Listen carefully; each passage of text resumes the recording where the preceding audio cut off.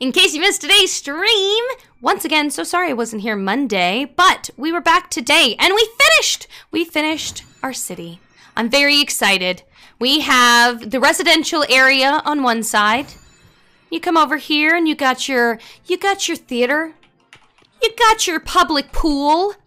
You see, you got your own individual uh, splash pad for the kiddos, maybe. A lifeguard in case you need one.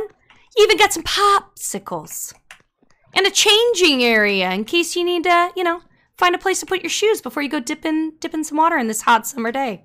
And then uh, you come across here and you got the shopping plaza. You can get your souvenirs before you leave town. How about you stop over here, get some veggies at the mart? Maybe maybe you want some more um, particular souvenirs. This guy sells uh, very fancy ones.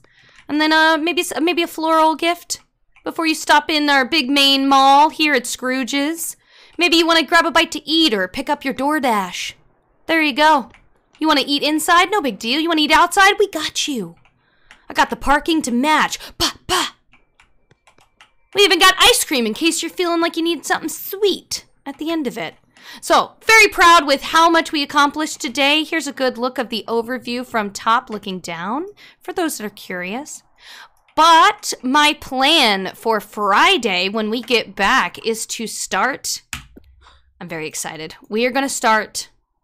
Actually, I'm not doing the Forgotten Lands. Let's do Frosted Heights. We are going to update and refresh some of the Frosted Heights area on Friday. So if you are down to hang out and help me redo this arcade section and just kind of add some more, zhuzh it up a bit, I would be very excited to have you. We will be live Friday, 9 a.m. Eastern Standard Time. So be here and if you can't be here, you know, I hope I can see you next week. We stream Monday, Wednesday, and Friday, 9 a.m. Eastern Standard Time.